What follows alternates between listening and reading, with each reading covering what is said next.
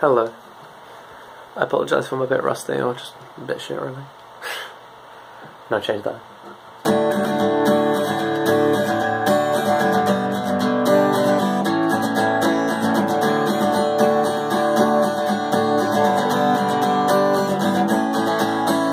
Best ever death metal band out of Denton were a couple of guys who had been friends since grade school. One was named Cyrus, the other was Jeff, and they practice twice a week in Jeff's bedroom.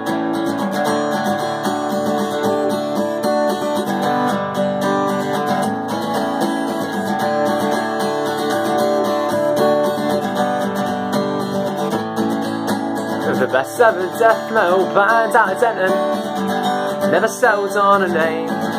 But the top three contenders after weeks of debate were Satan's Fingers, all the Killers, all the Hospital Bombers.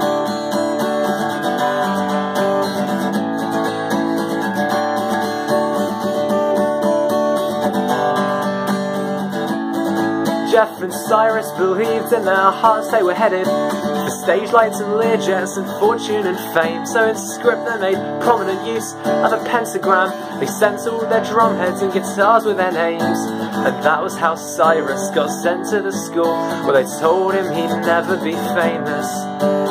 This was why Jeff, in the letters he'd write to his friends, helped develop a plan to get even. When you punish a person for dreaming his dream, don't expect him to thank or forgive you.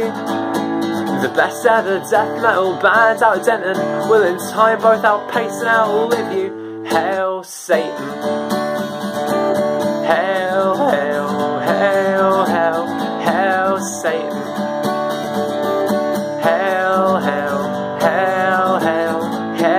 Hail Satan. Hail, hail, hail, hail, hail Satan. Hail, hail, hail, hail, hail Satan.